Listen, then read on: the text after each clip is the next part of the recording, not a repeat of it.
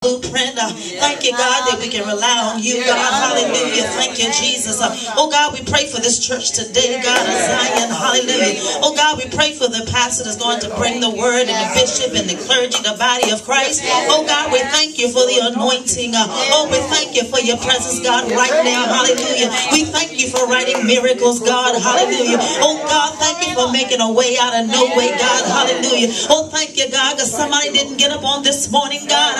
Hallelujah. God. Oh, God, but we pray for those that are here, God. We pray for all the mothers in the world. Hallelujah. But one thing, God, uh, we pray for the mothers to be saved. Hallelujah.